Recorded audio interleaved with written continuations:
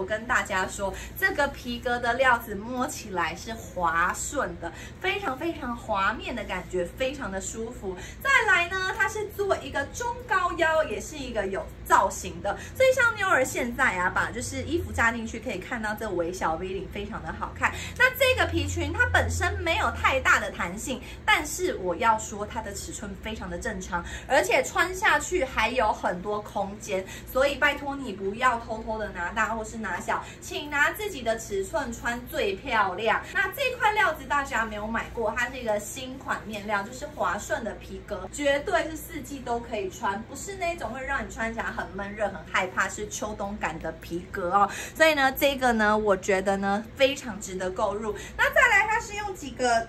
反光的银扣，我觉得非常的时尚精致哦。屁股的车线跟整体的造型，我只能说非常的修身哦。